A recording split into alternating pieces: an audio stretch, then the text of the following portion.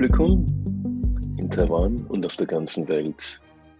Schön hier zu sein. Mein Name ist Walter Werzowa und es ist wirklich gut, mit Ihnen reden zu dürfen. Ich bin in Österreich geboren, nach Amerika ausgewandert, habe dort 30 Jahre lang gelebt und fertig studiert und bin jetzt wieder in Wien. Und als ich nach Wien kam, bekam ich diesen Anruf von Herrn Matthias Röder, der ein Harvard-Student ist, ein Doktorat von Harvard hat. Und ähm, er fragte mich, Walter, willst du mit Beethoven eine Symphonie schreiben? Ich habe das natürlich erst als gedacht, das ist ein Spaß und habe ähm, was Lustiges zurückgeantwortet. Er hat gemeint, ja, wirklich, es ist eine Möglichkeit da.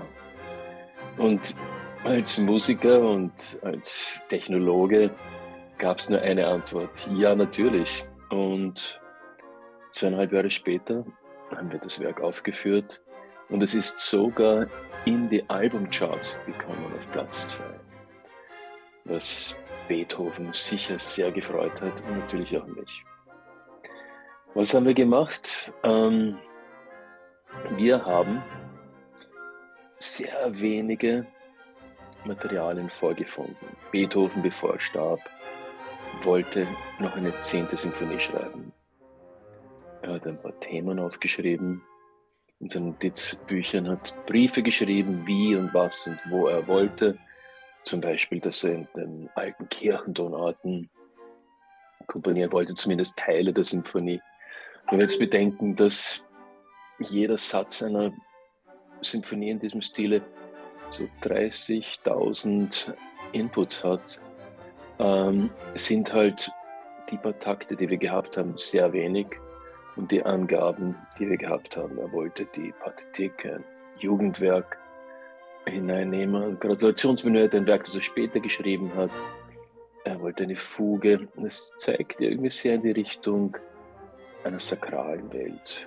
Hat sicher ist schon besetzter gewesen in den letzten Jahren vor seinem Tod, war völlig taub, was sicher sehr, sehr frustrierend ist für einen Musiker und abgeschnitten von der Welt und hat sicher irgendwo hinausgeschaut in neue und andere Welten, hat sehr viel in den Osten geschaut und hat auch dort ähm, ähm, Dinge gefunden, die sehr mit ihm resoniert haben. Deshalb haben wir gedacht, dass eine gewisse Spiritualität wichtig ist im Werk und haben deshalb eine Orgel mitgenommen. Er hat ja das Publikum mit dem Chor in seiner neunten letzten Satz geschockt. Stellen Sie sich vor, es war ein wirklich, es war ein Schock, dass jemand in einer klassischen Symphonie einen Chor verwendet und alle Regeln gesprengt hat. Er war, wie das so wir vergessen es vielleicht oft, er war ein Revoluzer. Er hat oft angeeckt. Es ist vorgekommen, dass das Publikum es überhaupt nicht gern gehabt hat, was, er, was aufgeführt wurde. Beim Violinkonzert hat der Violinvirtuose gemeint, dass Beethoven nicht für Violine schreiben kann. Es sind sicher sehr viele Rückschläge in seinem Leben passiert, aber er war, er war schon überzeugt, dass er ein Genie ist. Und wir wissen natürlich jetzt, dass er ein Genie war mit einem Genie arbeiten zu dürfen in diesem Ausmaß ist natürlich ehrend und wirklich wunderschön. Wie gesagt, es war eine tolle Zusammenarbeit zwischen der Technik, der künstlichen Intelligenz und meinerseits als Kreativer. Es hat, ich habe sehr viel gelernt, es hat viel Spaß gemacht. Es hat mir schlaflose Nächte gekostet und viel Freude. Und ich hoffe, es gefällt Ihnen dieses Werk. Alles Liebe und gute Unterhaltung. 这是我的第一次呃跟 AI 现场呃有这样子的一种合作的模式。那呃刚开始的时候，其实呃坦白讲不知道到底要怎么样子的一种合作。那慢慢慢慢渐渐的有一点点雏形，大概知道怎么回事。那当然自己也是因为去准备了这个贝多芬第十，呃也。去了解了一下他的背后，呃，创作的整个的过程，当然知道他们收集了很多很多的资讯，呃，音乐，然后有音乐学者，有呃有演奏家，那一起跟 AI 做做出来的这样子的一个曲子，只是呃，我在这个过程当中有在想说，任何一个一个作曲，我不要讲任何一个作曲家，任何一个人在成长的这个过程当中，都会有他的。呃，比如说早期是怎么样的，中期是怎么样，或者晚期是怎么样的？那呃，这个东西如果是被被呃被识的话，一定是在呃比较后面。当然，这是因为贝多芬呃呃去世以后，所以他比较晚期的时候，贝多芬会不会呃还是呃用他之前，比如说早期的一些创作手法去完成他的这个曲子，还是他想要有更多的突破？或是想要呃呃参与更多的呃那个那个时候的呃所有呃呃作曲或是音乐，在那个时候流行的一些状况放进到他的呃乐曲里面。现阶段我们所呈现出来的这些曲风，是不是真的是贝多芬要的？我在想说，如果今天贝多芬真的听到了，他或许会从棺材里面爬起来，给你拍拍手，说：“哇，呃，这是我没想到的。”那还是贝多芬会会起来说，no，这个不是呃我想要的，因为我这些你们现在写的东西是我的东西，可是呃我想要做更深层的或是不一样的呃一种呈现方式。呃，就演奏家的部分，我们就只能尊重呃这谱面上所有的东西，尽可能的把它诠释的，希望能够像贝多芬呃所写出来的东西。这一次我是觉得，因为是艺术跟 AI 科技的一个结合，演奏这样子的呃音乐开始了有一个不同的新的发展。以前就是比较都是古典乐，然后呃没有是呃科技这边出来的这呃创作出来的音乐，所以这个是中间的差异。那但是呃 AI 的这个科技进到艺术的领域里面，其实我是觉得。嗯，刚开始的时候，我们是带了一种蛮呃期待跟惊讶、好奇的心情在看待这样子的一个合作。我是讲说 AI 跟跟一般的艺术领域，呃，在读了谱之后，在听了呃音乐之后，在跟排团员排练了之后，呃，会开始产生了一些呃问号在脑袋里面。也就是说，这个呃。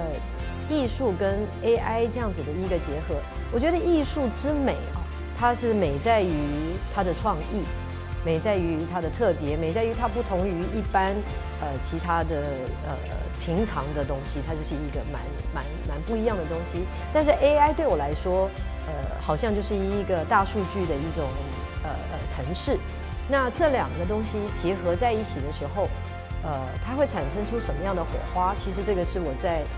呃，这个整个的过程当中，在思考的，呃，会不会很像抄袭啊？还是说这个音乐是很像某一个人，又很不像，还是一点点像？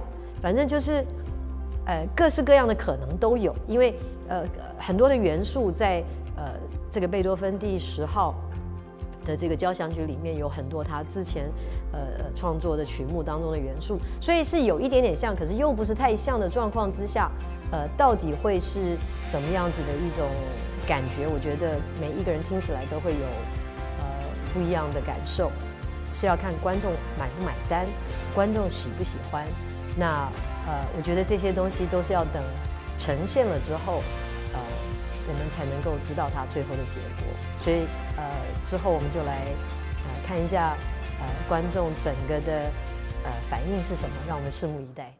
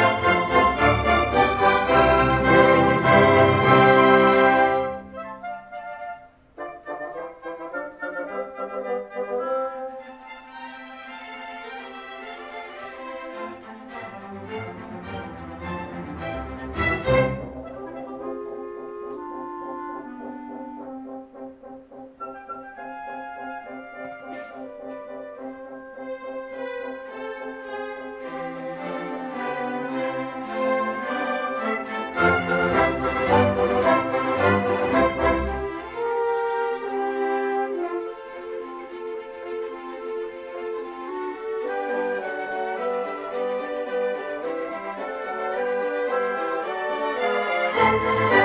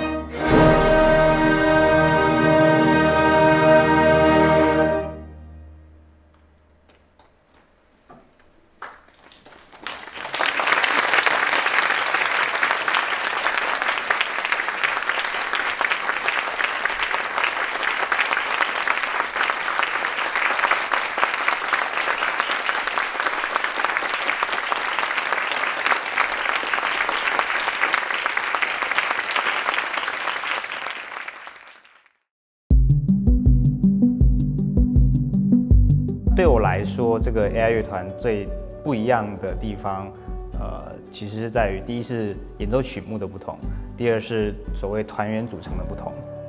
在还是古典乐团的时候，我们可能会演奏的是大家比较耳熟能详的一些曲目，呃，最主要的是它会是人的作曲家，真人的作曲家所谱写出来的曲目。那改制成 AI 乐团之后呢，我们可会尝试去演奏 AI 所协助人类呃所编写出来的乐曲这样。那团员的部分呢，主要是我们开始尝试与所谓的 AI 虚拟乐手合作。那在一个乐团里面，可能就会有一个虚拟的贝斯手出现。那在舞台上，大家可能看到的就是跟以往不一样的呈现。以前可能是呃台上都是真人，但是 AI 乐团就会是台上有真人的同时，也有一个 AI 的一个呃虚拟的一个影像这样子。我自从大一进来清华 AI 乐团，那大概参与了四至五次的演出。那其实我参与的呃 AI 的项目其实呃蛮多的，有自动根谱技术，然后自动作曲，然后也有人声分离技术，然后当然还有这次的管弦乐团配合编曲家的跟 AI 的自动作曲。然后我最印象深刻的应该是有一次我跟台湾呃人工智慧实验室。合作的一个 AI 项目，就是他们有发明出一个自动作曲的 AI，然后我作为编曲师，跟他们的 AI 作曲家把一首曲子完成，然后由我们的 AI 的乐团来发表这首歌曲。呃，我觉得其实，在参与这么多 AI 乐团的演出中，其实有一次最令我印象深刻的是，有一次我们在呃泸州音乐厅，然后那一次的呃 AI 乐团呈现方式很特别，就是不同于以往的管弦乐团，就是舞台上就照满了灯，然后把聚光灯附呃关注在就是团员以及指挥上。那次音乐会主要是想要用很多就是视觉上的呈现，所以其实当时的舞台基本上是全黑的，所以看不到任何的团员。然后那个时候的就是背景的部分会打上很多可能可以符合当时音乐风格的一些动画。然后其实这个部分我觉得很酷，是我是第一次参与到这样子的一个形式的音乐会。然后其实就是在排练的期间，因为舞台是全黑的，所以基本上很难看到指挥的动作。然后这也是在那次音乐会当中，我觉得是一个很创新的一个想法。然后其实也给我们带来蛮多挑战。其实就是在参加这么多。清华 AI 音乐会的情况来看的话，其实我已经入团大概两年多。然后其实，在一开始这个乐团进行的初期到后面的音乐会，其实我们拉过了蛮多不同的 AI 作品。然后其实一开始的时候会觉得说，AI 它谱出的乐谱其实有点音型有点单调乏味，然后可能会常常不知道 AI 真的想要表达是什么。就是比起在跟一般的古典管弦乐团来说，你可能会很了解说。哦，这一段作曲家是想要描绘出怎样的情情感，或是怎么样的心境？然后其实这样的情况之下，指挥也很好带出，说我各声部应该要怎么去做呈现。但其实，在一开始前期的时候，AI 谱出的作品会让人觉得说，不知道他想要表达什么。然后这常常也会让我们的指挥老师很苦恼。所以其实，在练习的时候呢，其实有的时候指挥也会稍微去些微的更改里面谱的一些表情记号或是音型。来去让这个音乐可以更流畅的呈现。那其实这样子，大概这样子经过很多时间下来，呃，这一次的 AI 作品，其实我个人认为是成熟很多。就是听起来虽然是 AI 谱的，但是可以听得出里面的情感是有真的有有一点贝多芬的味道在里面。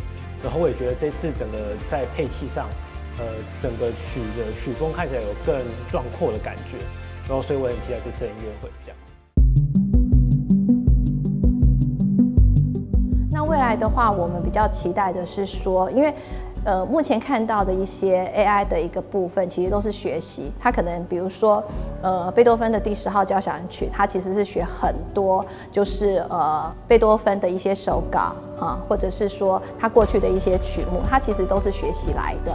那但是之后呢，我们其实很期待看到的是说，AI 是有创创作能力的。因为目前来讲的话，AI 要做到创作，其实还。